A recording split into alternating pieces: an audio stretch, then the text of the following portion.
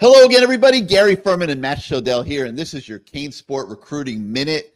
Uh, might need more than a minute for this one, though, because things are exploding at the University of Miami right now in terms of the recruitment of transfer quarterbacks. Uh, Will Howard from Kansas State, um, a guy that we identified really, uh, Matt Shodell, what, about 10 days ago or so, as one of the top couple guys in the portal he has come into Miami today and has uh, is taking a visit to the Hurricanes. And then we've also learned that tomorrow, Cam Ward, who universally is the number one guy on the board of transfer quarterbacks in the country, is expected on the Miami campus tomorrow. So imagine this, Matt Shodell, when we were evaluating these guys a week ago or so uh, and identified them as candidates, who would have ever thought that Miami would be able to get really two of the top couple top guys, maybe the top two top guys on campus this week for visits. Uh, hopefully, landing one of them to be the quarterback for next year. Just an unbelievable job of recruiting by Mario Cristobal and his staff. I mean, look, let's not over overplay it. You know, this is the NIL era. These are bidding wars, right? I'm overplaying it. I'm sorry, man. I am fired up about this. I am excited. So to me, you got to get Cam Ward, and you know Dante Moore also he wants to visit as well, but Dante Moore would probably sit out a year and be the next guy up because you know Will Howard, Howard these guys have a year left. Uh, so to me, it's Cam Ward or bust. You know, it's great they brought Will Howard in. You know, um, and Miami's going to have to try to get.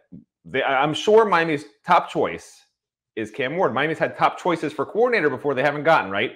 This is the guy they need because there's a huge difference to me between Cam Ward who's projected, you know, would be a third round draft pick probably, third pick, third round draft pick probably, versus Will Howard, who probably would be undrafted, maybe a late round draft pick. There's a huge difference. And you don't want to be forced to overpay for Will Howard and just get a more projections are you, reading? What are you saying? so there's there's a, website that tracks every single website's projections for the draft. Um, and they're saying that these guys are, are, third round picks and non-draft. No, no, no, no. Cam Ward would be a third round draft pick, not Will Howard. And Will Howard would not even get drafted. Late round draft pick, yeah. Yeah, he's wow. he's, he's struggled. I mean, he struggled. Let's you know he, he had it. All right, he listen, was, you're you're smacking me back into place. I'll admit it. Uh, this was only supposed to be a minute. We're now going in four. but well, I'm trying uh, to find the website to tell you the actual. I will, I will consider myself smacked back into place with those nuggets. All right, hold on. Let me. Here's Will Howard. I'll look him up again. Hold on. All right. Well, while you're looking, let me there's, say there's a, there's a, mock draft database, is what it's called. So I'm. All right, well, while you're looking, I already have it up. I have let it up. Let me say so, a couple things while you're looking. Well, it's already let, here. Let me have November November 18th. And Pro, football, Pro Football Network on November 18th projected to go 192nd overall. And prior to that, he's in, you know, he's in the 160s, 170s, 180s, you know, somewhere in there. So, all right. Well, let me say this. Okay. Look, I agree with you. Cam Ward's number one. Cam Ward's number one on everybody's board. Okay. So we'll, we'll, we'll agree on that.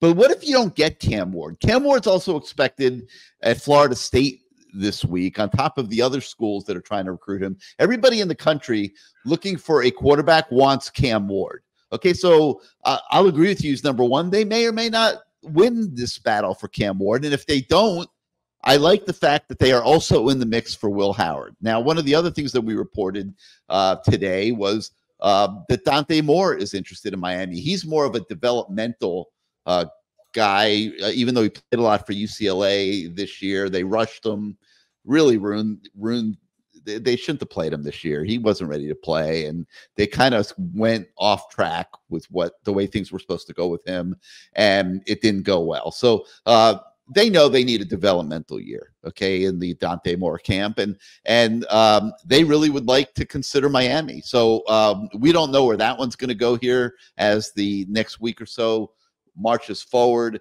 Right now, we're focused on Will Howard um, and Cam Ward. Uh, the two visitors here Monday, Tuesday. We'll see what happens with them. Uh, I'm a little bit more excited about this than Matt because I think it's a good sign for the program that they were able to get two of the top guys in the transfer market to come visit. Okay. They may or may not win. Well, no predictions there at this point.